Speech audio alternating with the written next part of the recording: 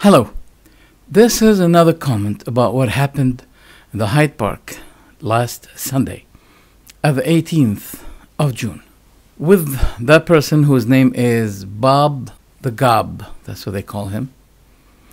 Bob does not debate to make it easier for the seeker of knowledge to see the truth, but he complicates things to deceive the truth seeker. In other words, he is agenda. When he debates with you, he doesn't look at you, but he looks at the people. And he shows them how he crushed his opponent. He wants to confuse him, to humiliate him with his blunt words. He's not only a rival, an opponent, but he is the judge. He's the referee against his opponent.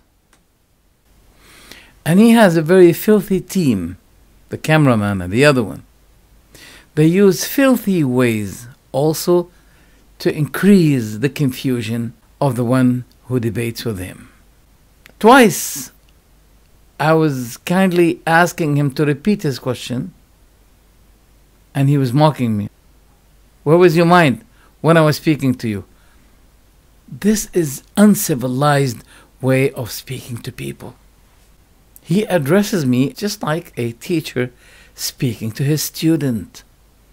No respect, no value, neither to my knowledge nor to my age. He was saying to me, Where was your mind when I was asking my question? He hides on you this bad approach but he says to you, when we won against them, they started to beat us after we conquered them. Every time when it comes his turn to speak, he doesn't look at me, but he looks at the people saying, We defeated the man. As you see, the man could not give an answer to this. And he's finished.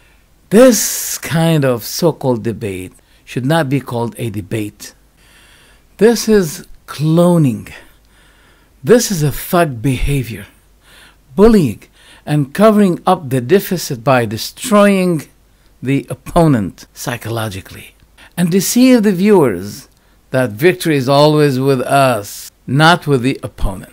He does not allow people to judge through reasoning, but he imposes on them, he dictates them to believe that victory is his.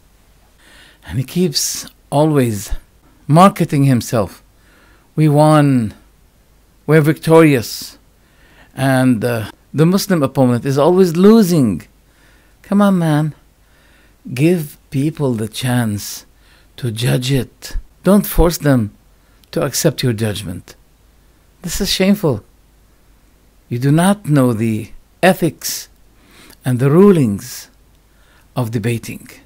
This is the work of the thug, not the intellectual person.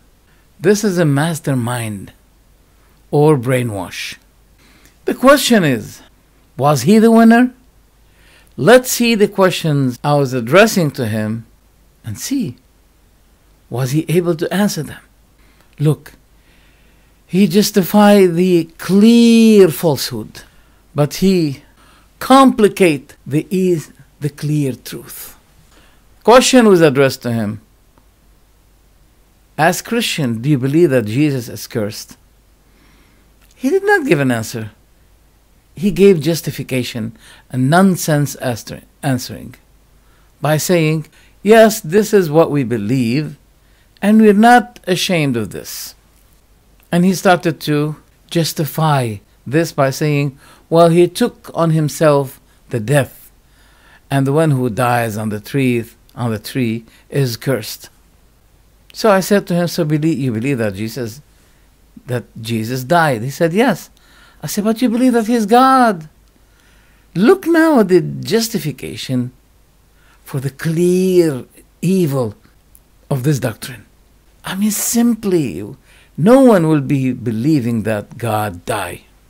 God is the granter of life and death. this law of death does not reach him. But wait a minute. I said to him, So you believe that Jesus is body? He said, Yes. I said, And that body has a private part. He couldn't say no. Look, it's in the Bible that Jesus, when he was eight days old, he was circumcised. Circumcised, that means, you know what it means. That the private part by this circumcision can be prevented from the entrance of microbes and filthy and dirty objects in his private part. So the creator of the microbes and those dirty objects cannot avoid them on himself, on his body. Another thing, when Jesus was before eight days, he could not bear the circumcision. So they had to wait eight days until he'll be able to be circumcised. Can you apply that on God? God cannot bear circumc- circumcision because he's too weak for that. He needs to wait eight days to be able. You're talking about who? They call him God, but they're talking about a child. So I said to him, So God died? He said, Yes. But look, look, immediately. They're, they are professional in justifying the evil. He said, But he conquered death. I said, How? By not dying? He said, No, by living again.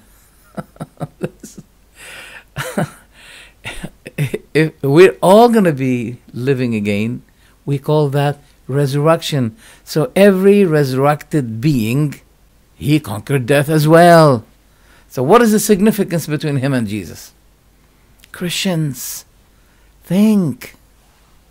When you'll be conquering death, when people will be trying to kill you, but they could not kill you. Huh, we call that conquering death.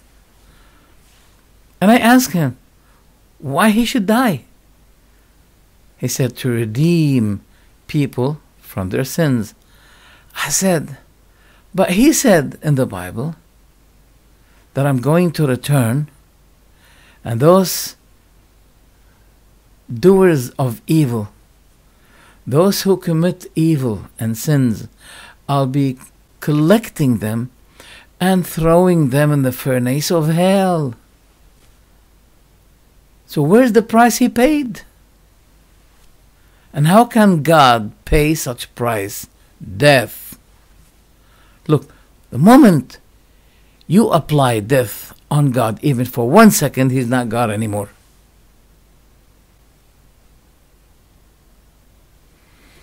Then I was asking him, if your son would be looking at the crucifixion image of Jesus, he's almost naked, except they covered his private part.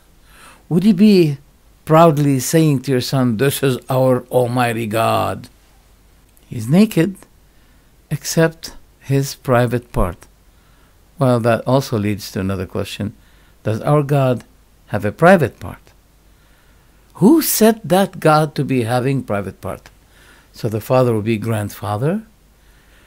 And if through that private part Jesus had a child, would that child be the grandson of the grandfather God? Well, he kept saying, This is Jesus the body. This is the body Jesus, but not Jesus the God. Professional justifier for the evil.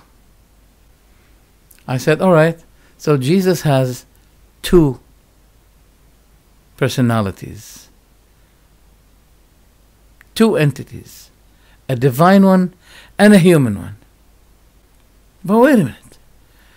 If Jesus, the, the body, is weak, this is not the only problem with Jesus, the man. He has another problem his knowledge is efficient, incomplete, imperfect. How? He said, as for this, the final hour, Nobody knows when will it be occurring. Neither the angels nor the Son, but the Father alone. So he is detaching himself from the so-called Father, detaching himself, saying, "I'm, I'm not, I'm not that God. I don't know. He knows." That guy, Bob the Gob, he was strongly, enthusiastically condemning me for not knowing the meaning of fickle and capricious. Well, not knowing those two words is bad for someone whose English is not his mother tongue. But what about that one whom you call God? He doesn't know about the final hour. So whose ignorance is worst?